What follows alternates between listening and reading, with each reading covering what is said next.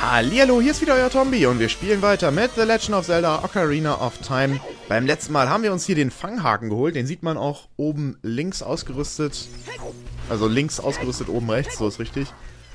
Aber wir müssen hier erstmal weiter im Kokiri-Wald. Da sind wir jetzt extra zurückgekommen ins Dorf. Und wir sehen auch hier hat der böse Ganondorf seine Un Unwesenheit getrieben da. Hier ist alles voller Gegner und böse Sachen sind passiert. Wir wissen gar nicht genau, wo die Kokiris abgeblieben sind. Aber gut, wir gucken hier nämlich, müssen wir in die verlorenen Wälder wieder zurück. Und dafür geht es natürlich hier lang. Und wir kennen ja hier den Trick noch. Kennen wir ihn? Oder ich kenne ihn. Was?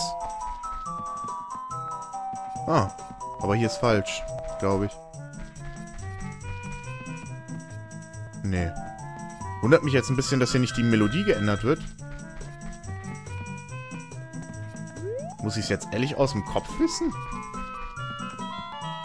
Aber man kann auch so ein bisschen tricksen. Man sieht schon, wie ich mich langsam vorantaste. Aber hier sind wir hergekommen, ne? Ja. Hier sind wir hergekommen. Und ich bin dann links, also gucken wir mal rechts. Aha. Ah, und da ist hier. Mido! Den kennen wir doch. Wer sind Sie? Mich können Sie nicht täuschen, auch wenn Sie Kokiri-Kleidung tragen. Ich habe Salia versprochen, Sie vor allen Gefahren zu schützen. Der olle Mido, der kriegt jetzt einen aufs Maul, aber das darf man nicht. Deswegen spielen wir jetzt hier den Song von Salia. Und mal gucken, wie er dann reagiert, der olle, der olle Sack. Den haben wir ja schon im ersten Part gesehen. Er hat uns damals ja abgehalten, zum Dekubaum zu gehen. Diese Melodie. Ah, Salia hat sie geschrieben. Sie, Sie kennen Salia? Ah, das Lied. Ah, Salia hat das Lied nur ihren engsten Freunden beigebracht. Nun gut, ich vertraue dir. Komisch.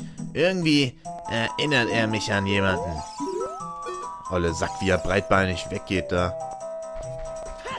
Den mag man doch nicht. So, wo ging's denn jetzt hier weiter? Ich weiß es nämlich wirklich nicht. Ach, das ist ja alles hier... Hier anscheinend. Aber irgendwann müssen wir uns entscheiden für einen Weg. Und das wird dann äh, relativ schwer, glaube ich. Ist es jetzt hier schon? Hier geht's lang, okay. Also ich teste jetzt, ich, ich weiß gerade nicht, äh, wie man rausfinden soll, wo man lang muss, muss ich sagen. Weil die Melodie ändert sich nicht. Die wird nicht lauter oder leiser. Und ich glaube, irgendwann müssen wir uns ja entscheiden für einen Weg. Ja, und das ist hier an der Stelle. Und einer führt jetzt weiter. Ich hoffe, es ist der hier. Ich nehme einfach den, weil der außerhalb der Map führt.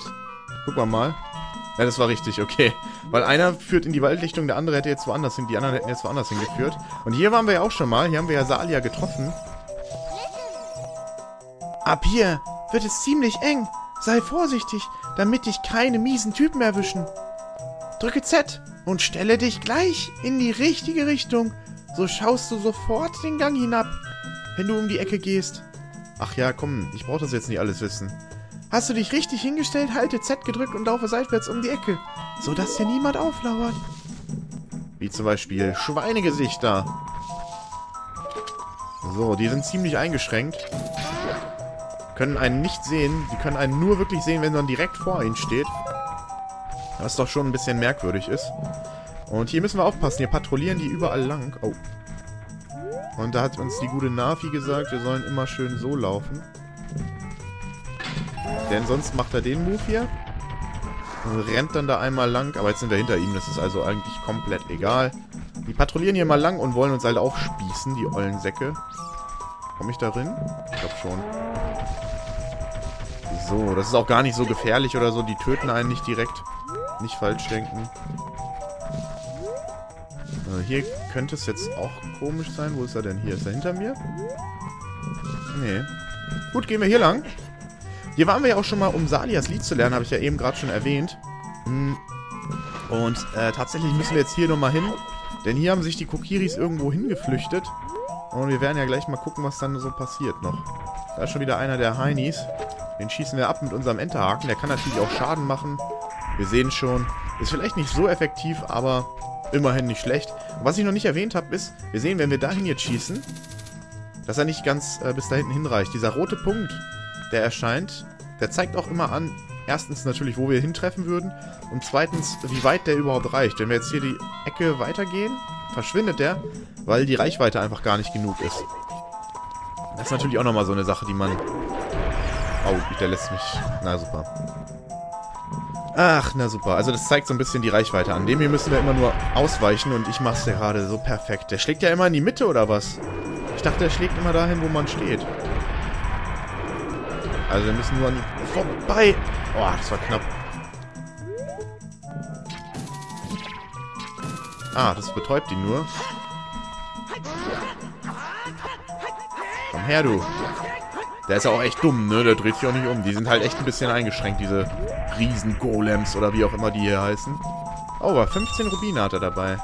Bringt nur leider nichts, denn wir haben immer noch volle Taschen. So, und nun sind wir wieder an der Lichtung, wo uns Salia damals das Lied beigebracht hat hier. Da war sie, auf dem Baumstamm.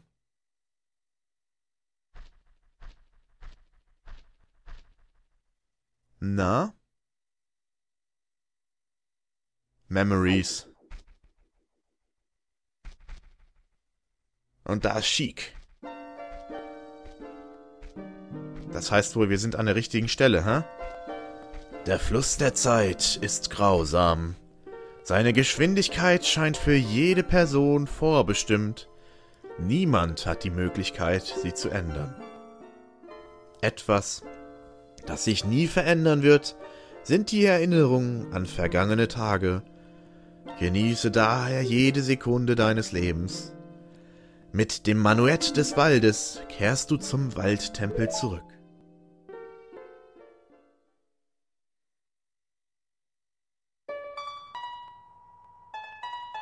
Und jetzt sehen wir schon, das ist ein komplexeres Lied. Das hat verschiedenste Noten und ist nicht so drei Noten, die sich immer wiederholen.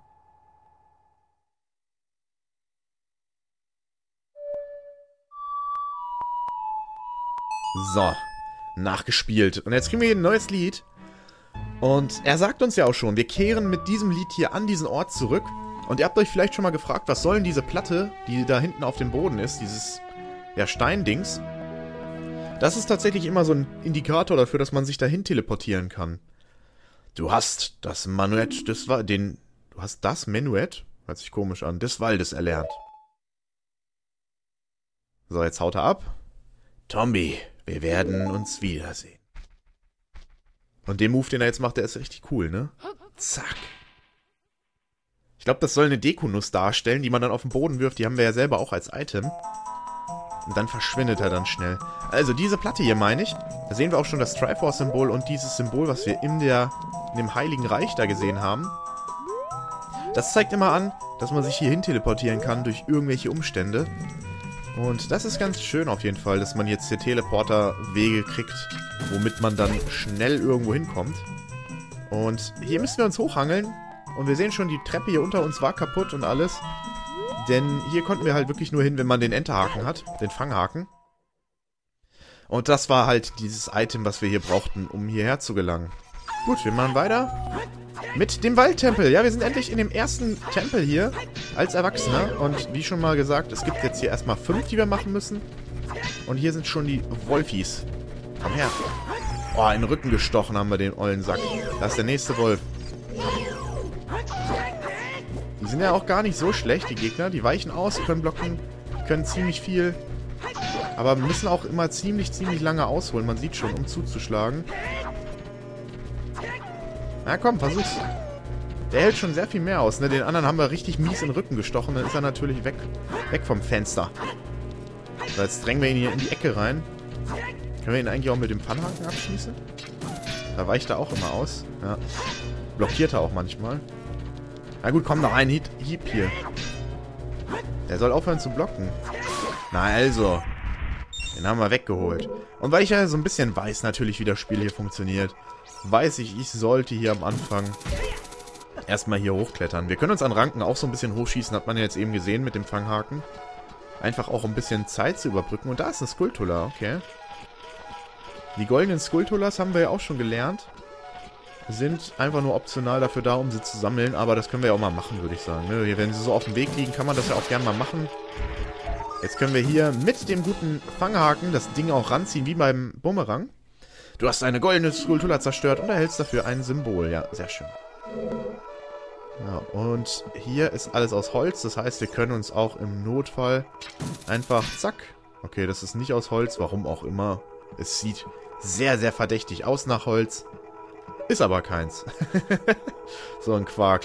Gut, die Kiste ist aber aus Holz. An Kisten können wir uns immer ranziehen. So. Und da kriegen wir einen kleinen Schlüssel. Eröffnet eine verschlossene Tür. Du kannst ihn nur in diesem Labyrinth einsetzen. Sehr gut, und deswegen bin ich hier direkt hochgegangen, denn sonst würde uns das später fehlen und wir wissen nicht, was wir machen sollen. Aber das haben wir ja jetzt, deswegen können wir weitergehen. Wir sehen, unten links sind die Schlüssel angezeigt. Wir haben jetzt einen. Und das ist immer so eine Sache. Wir hatten ja bis jetzt keine Schlüssel. So, den können wir auch schießen, den ollen Spinnenmann hier. Wir hatten jetzt bis jetzt keine richtigen verschlossenen Türen, abgesehen von solchen Ereignissen, wo wir einen Schalter drücken müssen und sowas. Und hier kommen jetzt noch Türen dazu, die halt einfach verschlossen sind. So, doch jetzt passiert schon wieder irgendwas hier direkt in der Eingangshalle des Tempels. Und wir sehen schon, das ist eine riesengroße Eingangshalle. Das wird einigermaßen lange dauern wahrscheinlich, dass ich hier den Tempel durchschaffe. Besonders sind diese erwachsenen Tempel doch recht komplex und so. Man sieht ja auch schon hier die ganzen Wege, die man gehen kann. Ah, da wird wahrscheinlich jetzt einige Zeit vergehen, bis ich die alle immer schaffe. Aber gut, die Tempel sind halt auch das Herzstück, ne? Und machen ja irgendwo mit am meisten Spaß. So, wir sehen schon, da ist eine dieser verschlossenen Türen mit so einem Schloss davor. Dafür bräuchten wir den kleinen Schlüssel. Den will ich allerdings nicht direkt aufgeben. So, hier ist wieder so ein Block, den wir zerstören können, indem wir das Lied spielen, der Hymne der Zeit.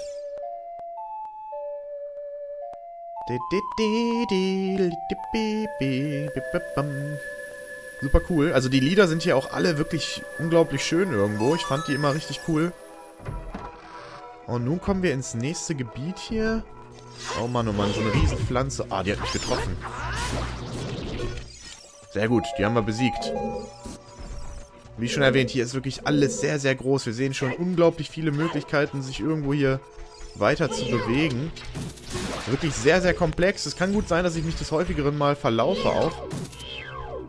Ich habe jetzt hier wirklich, ich bin ja jetzt relativ gut immer durchgekommen und habe relativ schnell erkannt, wo ich auch hin muss und so weiter. Aber hier wird es dann irgendwann an der Zeit sein, wo ich mir dann denke, so, ah, das klappt nicht mehr so, wie ich das hab, vorhab. Die Spinne sieht mich nicht, zum Glück. Ich laufe jetzt einfach wirklich zufällig gerade durch die Gegend. Ich habe absolut keine Ahnung, wo ich wirklich hin muss. Nein, was mache ich? Au. So, die Gegner sind interessant. Die haben so ein Feuer um sich und die muss man erstmal mit dem Schild parieren, um sie dann zu besiegen. Und die Kiste spawnt unter uns. Ich gehe mal davon aus, dass das hier der Kompass oder die Karte sein wird auch, denn die gibt es natürlich auch hier. Aber wir schauen erstmal, ne? Wir schauen erstmal rein. Die Karte, sehr schön. Können wir uns auch mal ganz kurz hier die Karte anschauen. Vier Ebenen nur, aber dafür doch hier relativ komplex. Wir sehen natürlich auch immer nur die Gebiete, die wir schon entdeckt haben, ne? So, und jetzt muss man hier natürlich auch immer aufpassen, dass man auch wirklich sich irgendwo so ein bisschen die Sachen merkt, wo man schon lang gegangen ist und so. Ist teilweise gar nicht so einfach. Diese Dinger hier sind übrigens extra gemachte... Ey, ich springe jetzt bloß nicht runter. Extra gemachte äh, ja, Teile, wo man sich mit dem Enterhaken dran schießen kann hier, mit dem Fanghaken. Und hier ist ein Schalter. Mal gucken, was der macht. Der Brunnen wird abgepumpt. Okay. Ist das denn hier gewesen? Ja, das war hier anscheinend. Ab ins Wasser. So, der Raum hier sieht ziemlich ähnlich aus wie der, wo ich gestartet bin drinnen, ne? Aber das ist tatsächlich nicht derselbe. Das habe ich auch schon mal... Ein paar Mal hat mich das schon sehr verwirrt. Das sieht hier teilweise sehr, sehr gleich aus, aber ist gar nicht so gleich, wie man denkt. Von daher auch nochmal so eine kleine Schwierigkeit. So, hier gibt es Herzen, aber ich glaube, hier gibt es auch irgendwo eine Truhe, oder nicht? Meine, hier lag immer eine Truhe, die ich immer verpasst habe bis jetzt. Weil die auch ziemlich versteckt liegt irgendwo. Man muss hier natürlich auch darauf achten, es gibt natürlich nicht irgendwie Schlüssel im Überfluss, ne? Nee, nee, nee. Es gibt immer nur so viele Schlüssel, dass man es halt auch durchs Labyrinth schafft. Da ist die Truhe, okay. Es gibt immer nur so viele Schlüssel, dass man es auch gerade so durchs Labyrinth schafft. Und hier liegt halt einer recht fies versteckt. Ich bin recht froh, dass ich den direkt gefunden habe. Denn teilweise findet man sonst auch Wege, da muss man mit dem Schlüssel aufmachen und denkt sich natürlich, ja, noch einen Schlüssel werde ich jetzt nicht direkt brauchen. Und dann kommt noch eine Tür mit dem Schlüssel und dann denkt man sich so, äh, hm, wo muss ich denn jetzt hin? Wie, wie geht's denn hier weiter? Alles so ein bisschen schwierig, wie gesagt. So, ist das der Raum, wo wir gestartet sind? Das könnte sein, oder? Ja, doch, das ist der. Sehr gut, dann habe ich das hier erst erstmal schon mal abgehakt. Ich muss mir das wirklich so ein bisschen jetzt hier, äh, sagen wir mal, so eine Landkarte machen in meinem Kopf, wo ich schon war und so weiter. Gucken wir nochmal hier, ob hier noch irgendwas versteckt ist bei den schönen Säulen. Können wir den eigentlich den Stein zurückschießen? Ja, können wir. Jetzt mit unserem neuen tollen Schild. Sehr gut. Wir merken auch schon anhand der Musik, das ist ja alles so ein bisschen Mystery-mäßig. Wir wissen nicht ganz genau, wo wir hier hin sollen. Und alles so ein bisschen verwirrend. Na gut. Wir gehen mal hier durch die Tür, würde ich sagen. Jetzt haben wir ja auch zwei Schlüssel. Da können wir ruhig einen mal opfern für. Natürlich muss das auch als, als Spieledesigner, muss das hier echt, echt anspruchsvoll sein, ne? Wenn man dann hier wirklich so designen muss, dass das anhand der Schlüssel alles passt irgendwie, dass man sich auch nicht irgendwie verlaufen kann, so dass man dann alles resetten müsste und sowas. Also das haben sie echt gut hingekriegt. So, den ollen Totenkopfmann, den hauen wir auch wieder weg. Ach komm, jetzt treff ihn. Nein, er hüpft. Und er boxt mich zweimal, ey. Das gibt's doch gar nicht. Ich weiß jetzt gar nicht, ob wir jetzt hier schon lang müssen, aber ich weiß, dass man hier so ein Rätsel machen kann. Oh mein Gott, das ist ja alles hier echt ein bisschen... Ein bisschen schwierig. So, hier sieht alles sehr, sehr gleich aus. Auf diesem Boden sind Pfeile aufgemalt. Wo denn? Ach, da. Ja. Gut, und hier haben wir einen riesen Block. Ja, jetzt können wir riesengroße Block Blöcke ziehen hier. Wir sind schon richtig, richtig stark auf jeden Fall. So, und wir sollen den wahrscheinlich in Pfeilrichtung schieben, ne? Gehe ich mal einfach davon aus. Was ist denn hinter uns? Gar nichts. Das ist einfach nur Platz, dass wir die noch schieben können. Sehr, sehr gut. Da drauf sieht aus wie auf der türkischen Flagge, ne? Also der, der, die Halbmondsichel und ein Stern. Also sieht irgendwie so ein bisschen so aus. Naja. Gut. Weiter schieben geht nicht. Der sitzt da fest. Das heißt, wir können jetzt hier lang gucken mal. Da geht's nicht lang. Hier geht's lang. Und da ist jetzt ja der Block, ne? Ja, genau. Gut, den schieben wir dann weiter hier gegen die Wand gegen. Und das ist ja jetzt auch schon ein bisschen schwierigere Rätsel. Denn man merkt schon, der Schwierigkeitsgrad zieht an. Wenn man erwachsen wird, dann muss man auch schon einige Sachen hier sich zusammenreimen und zusammensuchen. Normalerweise dauert das natürlich alles viel, viel länger. Man kennt das ja bei Zelda-Spielen. Und hier ist noch ein Block, den wir irgendwo schieben müssen, oder was? Ah, da.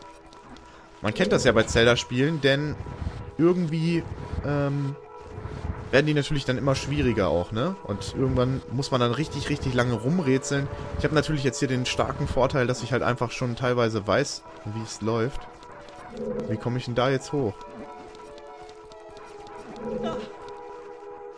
Ne, geh da nochmal hoch. Können wir denn da nicht irgendwo lang oder sowas? Also wir müssen den Block hier wieder reinschieben in diese Fuge. Aber wir können den nicht rausziehen, weil wir die Wand hinter uns haben. Irgendwie müssen wir noch höher kommen, glaube ich. Per Enterhaken eventuell. Da hinten ist auch noch eine Tür, wo wir hin können. Schauen uns hier mal um. Da können wir uns nicht dran ziehen, wenn ich mich nicht täusche. Das geht, glaube ich, nicht. Nee.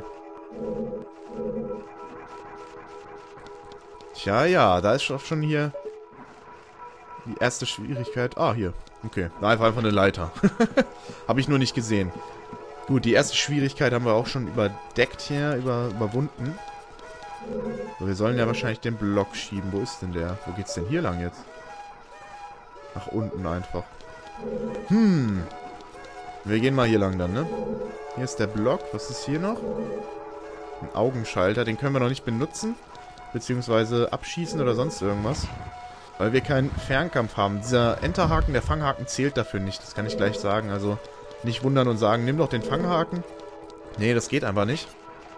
Ist nicht möglich, damit die Dinger abzuschießen. Und die Zwille können wir nicht mehr benutzen, weil wir einfach zu groß sind für die. Die ist zu klein für unsere Hände anscheinend. Was natürlich irgendwo so ein bisschen logisch, unlogisch ist, aber naja. Was soll's, ne? Wir wollen jetzt hier wieder nicht mal wegen Logik rummeckern. So, wir schieben den Stein hier auch wieder dahin. Und haben uns damit jetzt so einen Weg nach oben gebahnt. Das Gute ist natürlich auch, die bleiben immer so, also... Das ist natürlich echt angenehm. Dass man die Rätsel nicht irgendwie wiederholen muss oder sowas. Sei denn, man geht Game Over, glaube ich. Dann müsste man es natürlich machen. Aber ich bin jetzt eigentlich guter Dinge, dass wir das hinkriegen. Ich muss irgendwann mal auch einen Part machen, wo ich ein paar Herzteile vielleicht sammle. Hier geht es noch höher, okay. Weil wir haben jetzt gerade erst 6, das ist relativ wenig, ne? Ich habe ja schon mal erwähnt, ich glaube die Maximalanzahl ist 20. Was doch dann schon ein bisschen viel, viel mehr ist. Ah, der sollte mich beachten, nicht der andere. Nein, ich verdrücke mich. Ah. So, wir können auch... Es gibt zwei Möglichkeiten, die zu besiegen. Wir können die erstmal mit dem Schild blocken, denn wenn die uns mit dem blauen Rauch berühren, machen sie uns hundertprozentig Schaden. Das heißt, wir müssen sie erstmal mit dem Schild abblocken oder halt, äh, wie, wie schon mit dem Enterhaken vorher, einfach drauf schießen, damit sie so ein bisschen gestunt sind. Aber das hat uns jetzt nichts gebracht. Da braucht man einen kleinen Schlüssel für. Und ich habe jetzt so den Eindruck, dahinter braucht man nochmal irgendwo einen kleinen Schlüssel. Hundertprozentig sicher bin ich mir nicht, aber ich glaube, es ist so. Dieser Korridor ist völlig verdreht. Stimmt. Das ist auch nochmal hier so, ein, so eine Eigenheit von dem Tempel. Ne? Das ist super mit so verdrehten Korridoren. Aber gut, ich würde sagen, wir sehen uns auf jeden Fall erst wieder beim nächsten Part. Denn dieser Part ist auf jeden Fall schon recht lang genug. Und ähm, ja, schreibt eure Meinung rein in die Kommis, gebt eine Bewertung ab, am besten einen Daumen hoch. und wir sehen uns dann beim nächsten Mal. Da machen wir hier weiter beim Waldtempel. Ich glaube nicht, dass wir ihn abschließen können, denn der ist wirklich länger. Und bis dahin sage ich ciao.